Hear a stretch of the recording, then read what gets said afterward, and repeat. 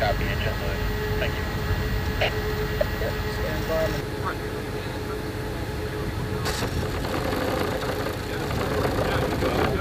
I'm, I'm giving you suggestions on how to get shit done.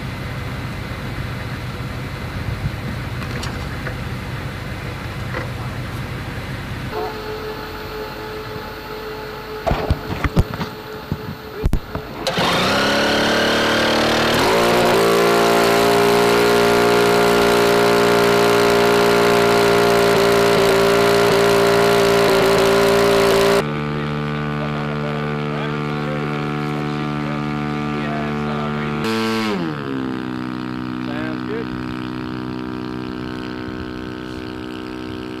A lot of oil in there.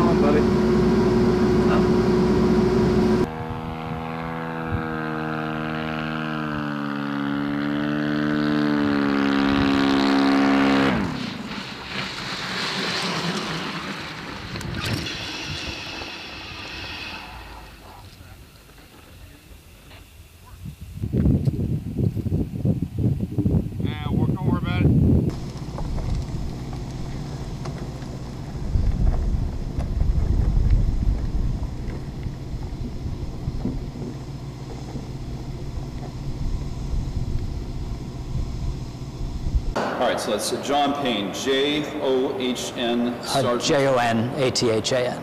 Okay, J-O-N, A-T-H-A-N. thank you very much. All right, and uh, operations maintenance, you said, or, Uh, Aviation maintenance. Aviation maintenance. Uh, Unmanned aircraft. okay, very well, sounds good. This morning, uh, had a mission brief. Uh, Shortly after that, uh, did the pre-flight, get the aircraft ready for launch. Uh, Launched the aircraft, they're flying a training mission right now. Um, Doing maintenance on other aircraft while waiting for this flight to come down. And then once we recover, we can defuel it and refuel it and get it ready to fly tomorrow. Um, On the battlefield, uh, we can do um, you know, real-time surveillance, uh, look at what's taking place on the ground.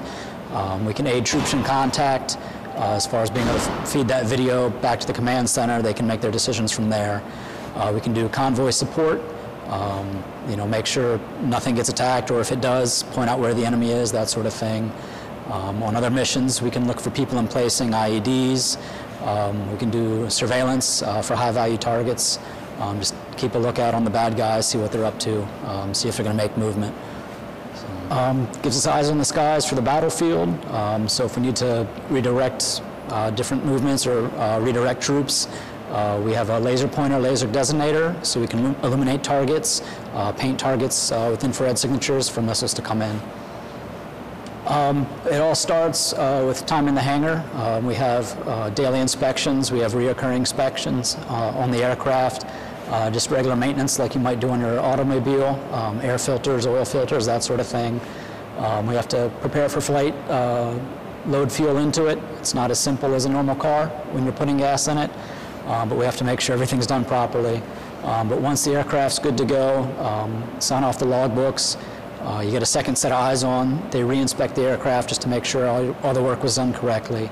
Um, from there, uh, push it out to the launcher, um, do pre-flight checks with the operators, um, just simulating everything you'd encounter in flight on the ground just to make sure it's good to go, passes inspection. Uh, from there, we uh, mount it on the launcher, and once we have uh, clearance through tower, uh, we can launch the aircraft. Good. All right, Sergeant uh, Pfenning, uh, P-F-E-N-N-I-N-G. Can you get your uh, first name and spell, please? It's Ian, I-A-N. Simple enough. And uh, what is your uh, title here? Not your MOS, but what is your, you know, title? Uh, UAV operator.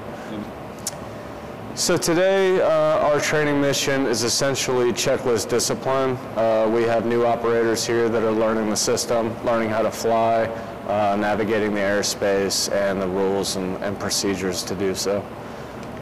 So the UAS in today's fight is literally the forward observer. Um, we take the forward observer as a human out out of the battlefield. So I think in, in a lot of ways we save lives. Um, we're able to do BDA. We're able to offer 24-hour surveillance. Um, it's a very powerful thing in today's military.